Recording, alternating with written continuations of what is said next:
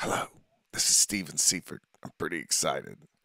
This is a new instrument by Terry McCafferty. We're calling it the Seifert model. It's an acoustic dulcimer, but it also has a variety of uh, options for getting the sound out of it. There's a magnetic pickup, there's a piezo pickup system, and there's a 13 pin out which is going to allow you to connect this to uh, an instrument modeler or a synthesizer.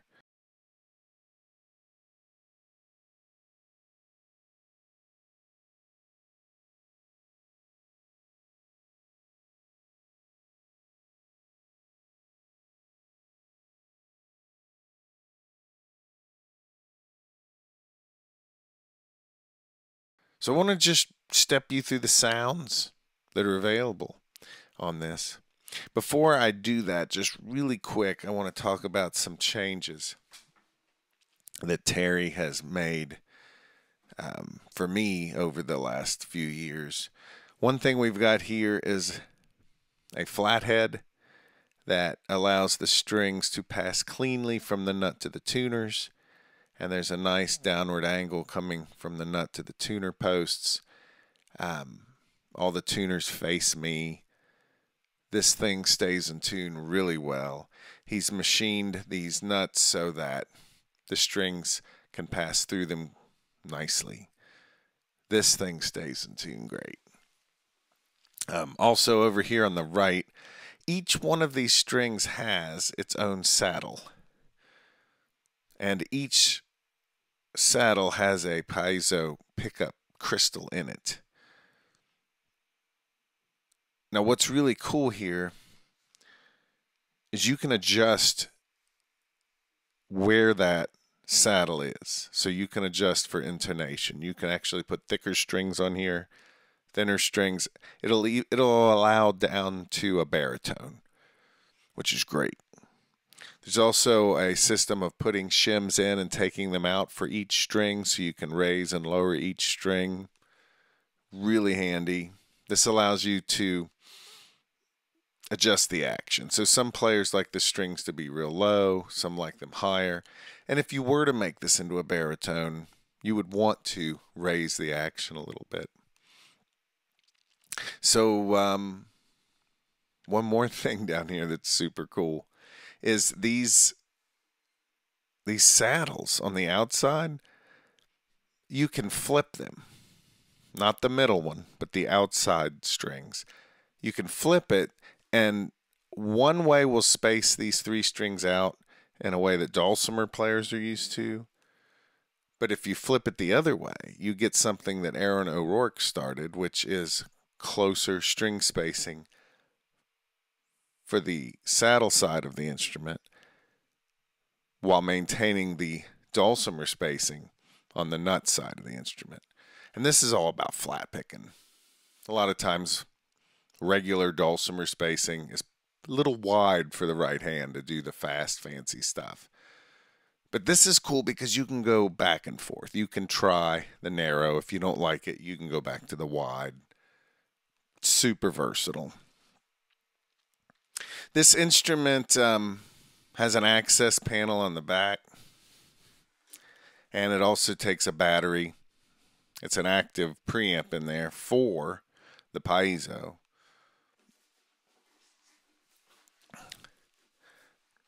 It's an acoustic instrument too. So Terry took a lot of steps to maintain vibrations, and we did a lot of before and after um, experiments and and recordings. The main thing he did, there's other things, but the main thing he did, you you put a big magnetic pickup on top of an instrument, and it's going to reduce vibrations. This magnetic pickup is not sitting on the fingerboard. It looks like it is, but it isn't. It's also not sitting on the top of the dulcimer. There are two legs that allow it to sit on the back of the instrument. So there's actually two holes here, small holes. So that's great. Um, there are two screws here that allow you to adjust the height of either side of this pickup. A lot of versatility here. Uh, some of his traditional model dulcimers have a violin edge. This is smooth. And you've got all these controls here, which I will walk through. I've got two cables coming out of this, which you don't have to do all of this, but I am going to show you everything. So um, let's jump right into the sounds. I want to start off by giving you just the acoustic sound of this. You know, it's hard to get a microphone to really represent what an instrument sounds like if if you were sitting in a room in like a living room with this with hardwood floors, this thing sounds great. So here's a little bit with just the uh, microphone.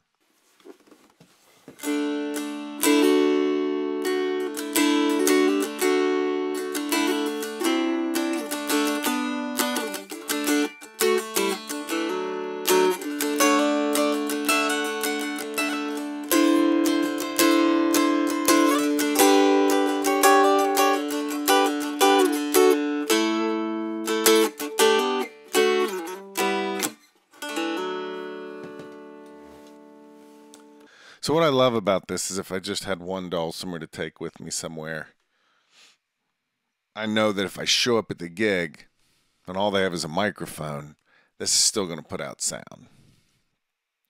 And uh, that's great. I think what I want to do is talk about the different scenarios. So it's the uh, the one scenario is you show up and there's either no microphone or just a microphone and that's it. And so I'm covered with this.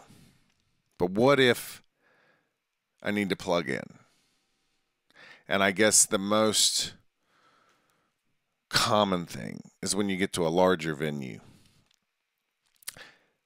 If you just use microphones, you know, they have monitors sitting in front of you so that the artists can hear themselves.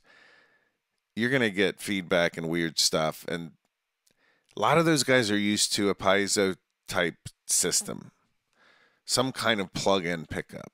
So I want you to hear this.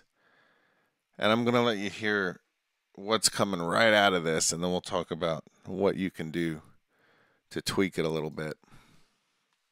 So here's the, the piezo system. Each string, like I said, has a crystal under it. And it all is coming out this quarter inch jack right here.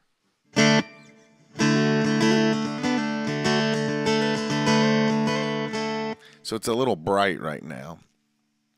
And um, actually, I had the bass rolled off. Here's the bass that normally comes out of it. You can hear it's kind of thumpy a little bit. So the good news is it can handle lower tuned strings, heavier strings. But I'm going to go ahead and just take out that bass a little bit.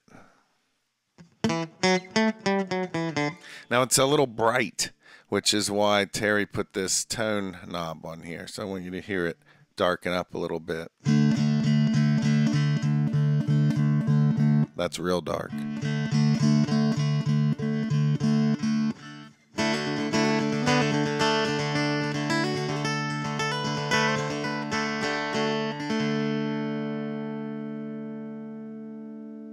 So typically what you want to do is this this does have a preamp built into it, but typically what you want to do is come out into some kind of EQ pedal or something like that where you've got lows, mids, highs.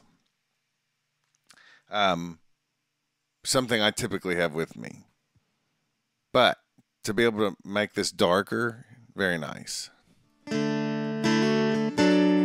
So I want you to hear a little bit of that.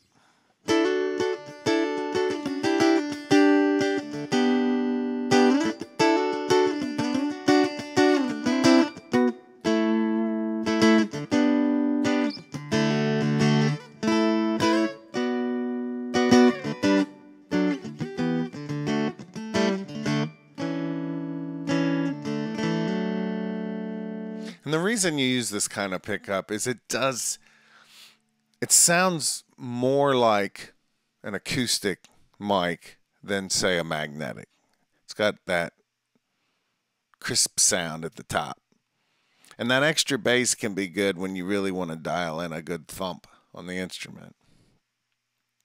But one thing you'll see sometimes, I've had this happen quite a bit, the sound man at a large venue is going to want to mostly use this sound, but he's going to tuck the microphone in a little bit. So I'm going to do the same here. I'm going to, here's just the microphone.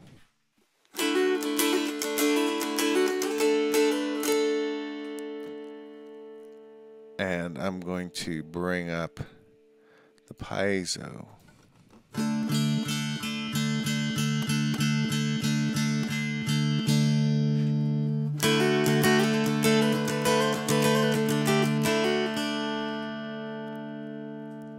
So when you get this combination, since I'm getting the highs from the microphone, I can take this tone knob and knock the uh, the highs off of the piezo pickup. So I'm getting the hot, the pick sound from the microphone. But a little bit of direct warmth from the pickup.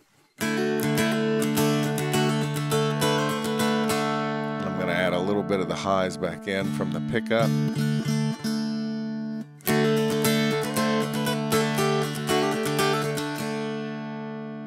So that's a pretty usable sound, you know.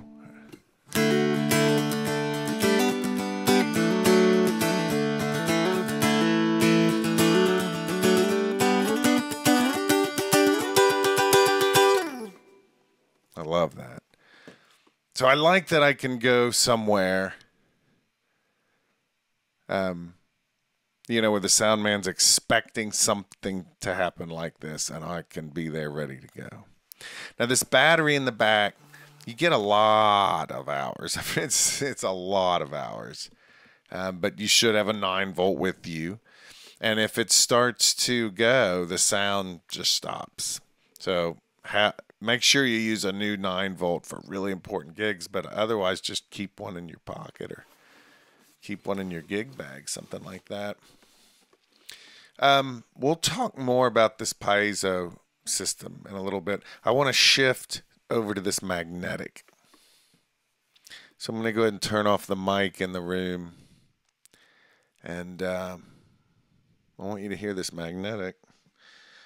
So the way this works, you know, you've got the piezo and you've got the magnetic.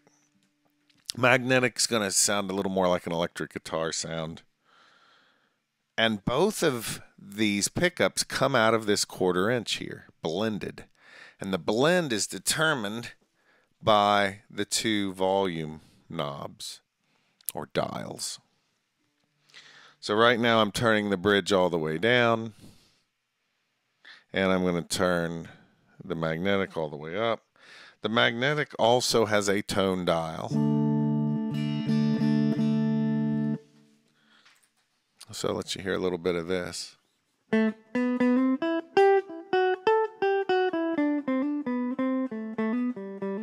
know, in a lot of ways, it sounds cleaner, stronger. Uh, doesn't necessarily sound acoustic.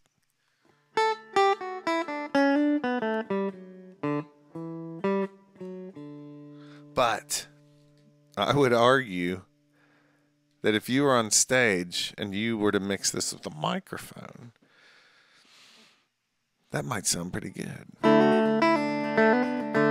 But by itself, it's a very electric guitar sound.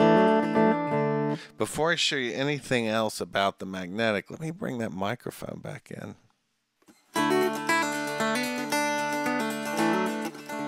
Now there's a little bit of air and pick sound in there.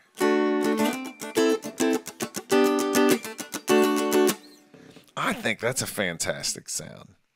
And what's cool is if I'm on a big stage, I can send one or the other just by adjusting those volume dials.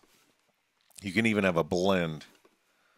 So right now, let's try that out. I'm going to bring in a little of the piezo. And and yes, I'm not sure how to say that word. Now you're hearing both and the microphone. So we have a magnetic, piezo, and the microphone. Notice it's louder.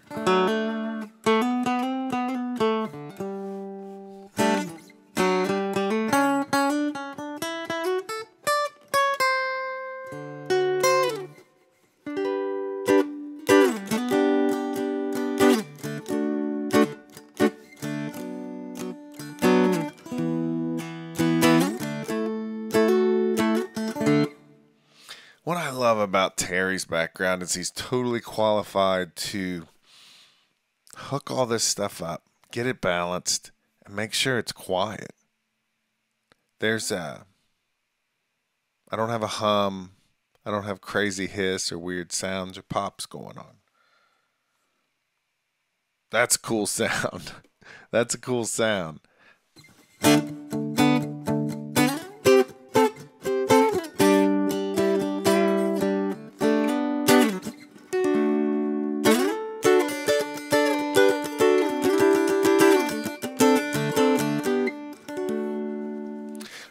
Turn the mic off. I'm going to turn down the piezo. Now we're going to go back to just the magnetic.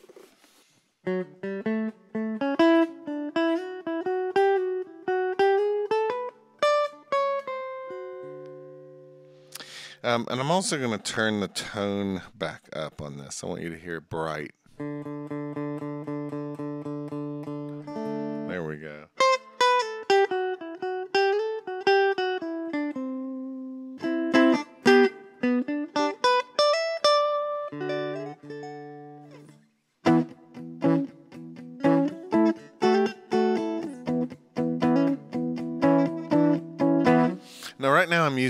Clean magnetic sound, so I'm I'm kind of going for a Chet Atkins sound a little bit or something like that.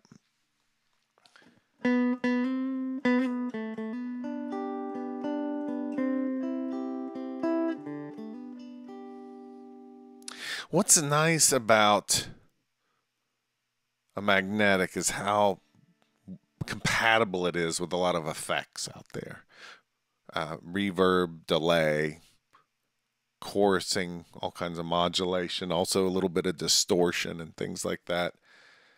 This pickup, let's talk about this for a second. First of all, there are two coils in here, I believe, magnetic, and one is picking up. They're both picking up the strings, and I'm. You're gonna have to hear this from Terry, not me, but one of them is what's giving us the sound, and the other one is I don't know if it's reversing the polarity or something, but it's it's basically canceling out noise that you you would have. And at low levels it's not a big deal, but if you want to use some distortion in certain things, some of that noise gets louder. So the default setting here is what's called humbucking. It's getting rid of noise, and it's got a slightly darker sound. This kind of pickup. But there's a switch on the side. This is really neat. And this basically, I guess it turns off that second coil. So now you you're using what's known as a single coil system which is more susceptible. Here it is. It's more susceptible to noise. And uh, I don't think you're going to hear it. He's made this thing so quiet.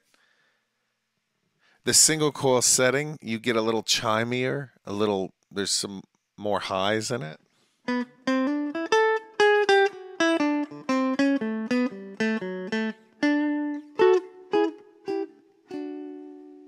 If I go back to the humbucker, it's a little darker, very subtle difference.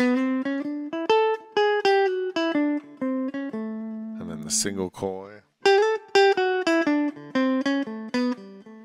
Little brighter.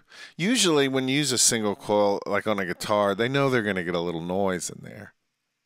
Um, and sometimes just by changing your orientation, your physical orientation, you'll tune that in or out. Um, this thing's pretty quiet. I'm going to leave it on humbucker for now. And this has the tone knob on it.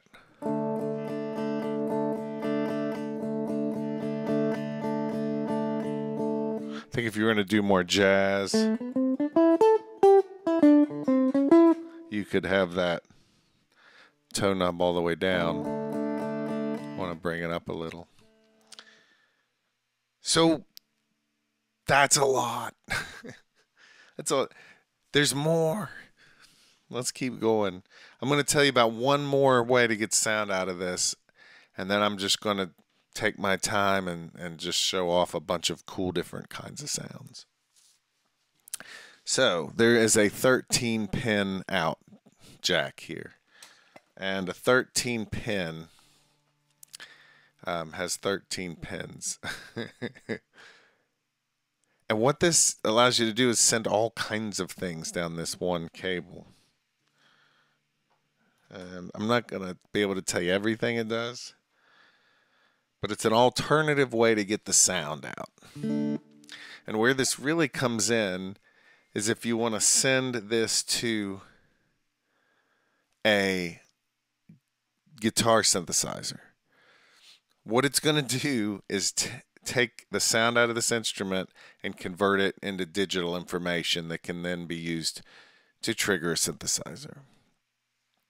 Not everyone's going to want to do this, but it's something I've wanted since I was 16. so I've been waiting for a long time for this. Um, so what's neat is this piezo system here by Graph Tech. Each string has its own pickup. And so each string comes out this 13 pin on a different pin. So three of the pins cover the three strings. The guitar synthesizers work best when they just get one string per wire and then they can convert it into the digital. Another thing that goes down this, for instance, is the volume for what we're labeling as MIDI, Musical Instrument Device Interface. There's not actually MIDI coming out of here, but it gets turned into MIDI by the guitar synthesizer, and then you can use that for all kinds of stuff. This volume knob here, it's actually a control that can be assigned to anything inside a synthesizer filter, attack time, all kinds of stuff. Right now it's set to volume on the synth, but that comes down this cable. You could even have it control the lights in your room if you know how to do that. This uh, toggle up and down here, I don't know what you call that, but that allows me to go through the different patches on the synthesizer so I can have it sound like a flute or a bass or an orchestra, that kind of stuff. Boy, that's a lot. I want you to hear that. So what you're going to hear in a second, as soon as I get this set up, is uh, which it's about there. You're not going to hear the strings of this. Each string here is getting turned into information that can then drive the synthesizer. So let's. Ooh, there's a little bit right there. Let me just tweak it. All right, so here's the synth sound. I'm going to go ahead and turn the mic off so you just hear the synth.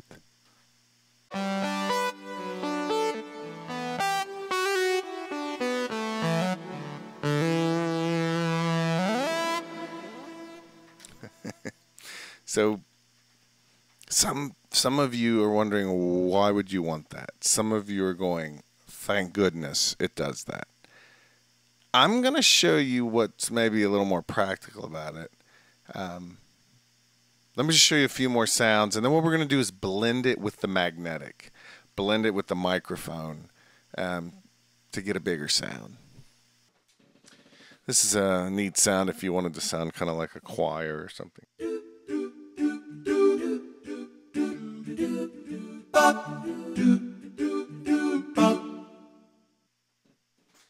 So let's um, let's look for a string sound.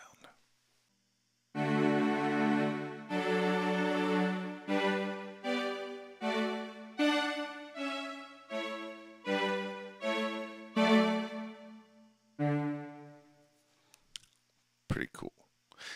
Let's uh, combine all this. This is where the usefulness of that sound comes out.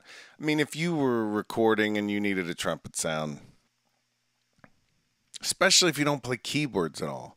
This would allow you to do that. I think that's important to remember. But also, I think just to fatten up the dulcimer sound for people who do more modern kind of stuff. Some people say, well, why don't you just play this on a guitar? Or why don't you just, why don't you get an electric guitar? Why don't you get a, a, a synthesizer keyboard? What if you just want to do it on a dulcimer? What if you've done dulcimer your whole life? That would be me. I can play other instruments, but I'm a dulcimer player. I don't want to do it on a guitar, right? I want to do it on here. So I'm going to darken up the strings a little.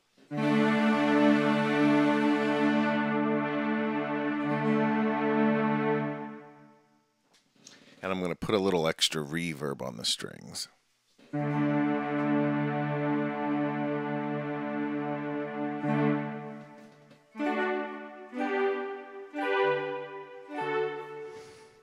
Now I'm going to turn that down for now. Bring back in the magnetic.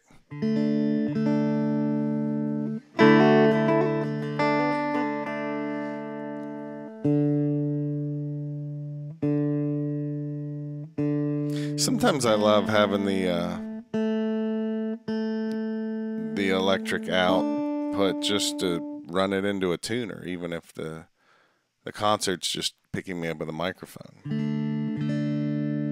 So there's the magnetic. I'm to bring in that string sound gradually.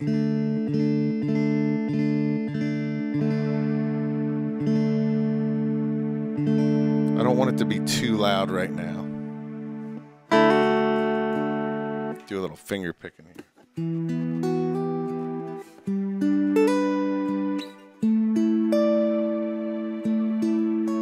A little loud. You can turn the strings down.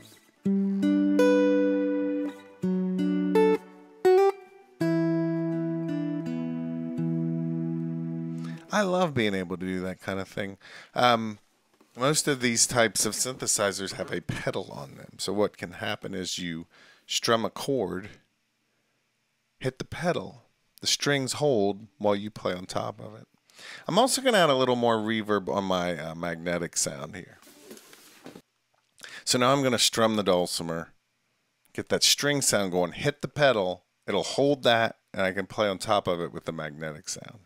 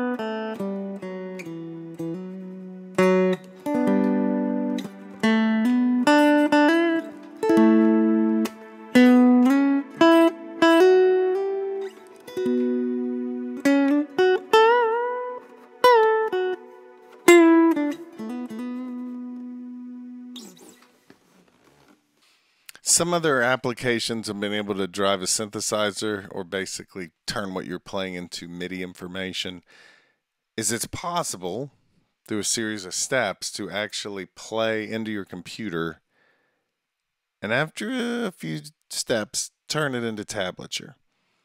Might need to clean it up a little bit, but if your playing is very deliberate and clean, you might not. This allows us to maybe play and get tablature, which is totally awesome. For this next part of the video, I'm just going to run through a bunch of sounds that I've been getting with all of this. so, uh, here you go.